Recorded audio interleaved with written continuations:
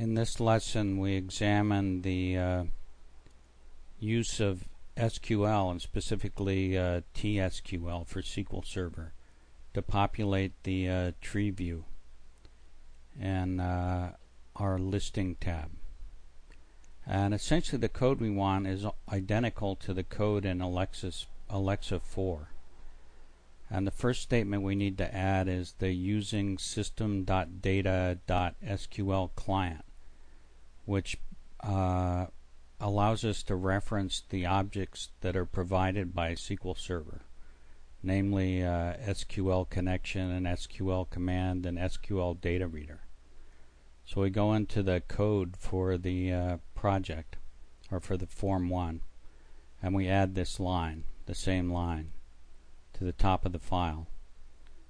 And then the next lines we need define the uh, connection object and we basically in Alexa 4 it said SQL connection SQL con 1 uh, equals new SQL connection. And then we assign the connection string to our known connection string and opened it with the open method. And we're going to have to break up the first line because we want the SQL connection object to be global across the whole form the whole module. So we're going to declare that at the top of the the module and uh, call it SQL connection shared SQL connection for the name.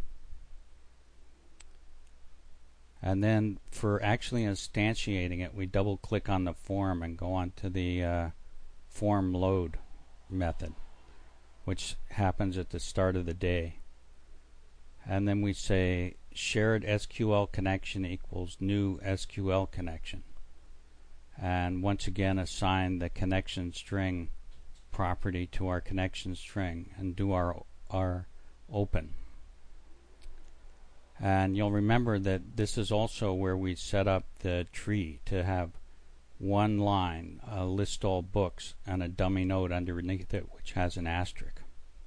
It's important later in the lesson. And the next part of Alexa 4 is we create the command object. Uh, we call it command 1, SQL command 1. Set the connection to our open connection. And then assign it a command text, which is the TSQL I was talking about in this case select asterisk from AB type which is our table that contains all our different types.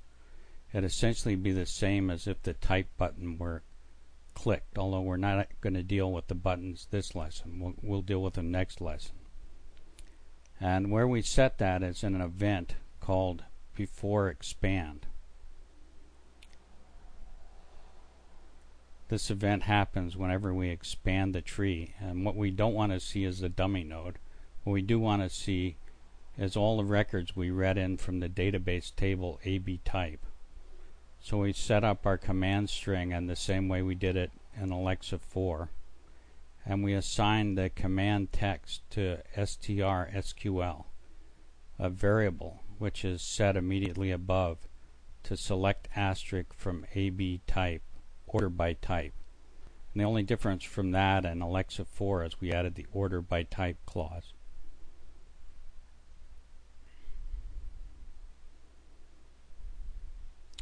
And the final section of the Alexa 4 we need to emulate.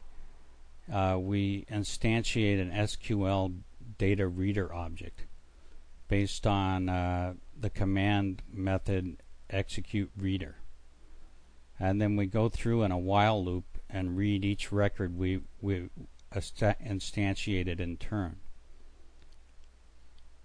So the difference in this is pretty significant because we're going to need to do a node selected object that gets read in from the argument tree view cancel event args e which references the node that was selected for expanding. And then we're going to need to check the nodes collection 0 of this object to see if it has an asterisk so it's the dummy node.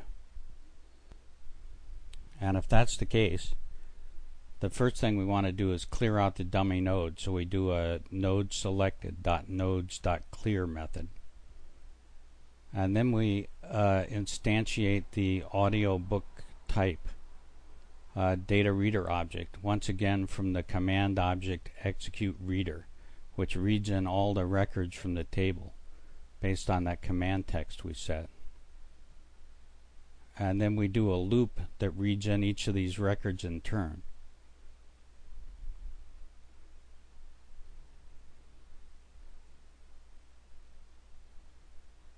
We do a nodes add to add the node from the type field of that record. The audio book type quotation mark type close quotation mark close paren. And then we need to instant uh, instantiate a, chi- a node child object. So it can say node child tag equals the type code field because we're going to need that later on when we're going to actually look at the audiobook records. The type code is the key to getting the correct records from the audiobooks table. So let's save this program and run it. Click on the Listings tab and expand the List All Books and there are types sorted in alphabetical order from 87th precinct uh, through all the way to the last one, which I believe is Zen. Yeah, 87th precinct to Zen. So that's pretty cool. Basically, we're using a language that embeds another language, namely TSQL, in order to interrogate the database which gives us a tremendous amount of power. So I hope you uh, learned a lot from this lesson. And remember, whatever you do, to always focus and learn a lot. I'll see you next lesson where we're going to look at handling the uh, radio button and checkbox.